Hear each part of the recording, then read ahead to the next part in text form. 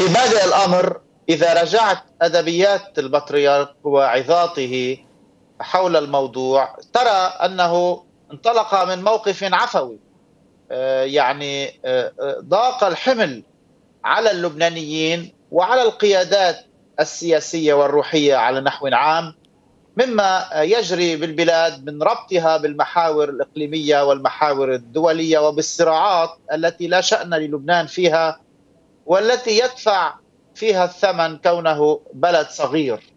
وبالتالي من هذا المنطلق تحديدا وطالما أن عددا وافرا من البلدان كانت من البلدان الصغيرة آه، وقليلة آه، الحجم والقوة بشكل عام ولم تكن تمتلك الترسانات العسكرية لتؤثر في السياسات الدولية هي بادرت إلى طلب الحياة فقد جاءت آه، أعتقد هذه الفكرة يعني في أجندة البترك. طيب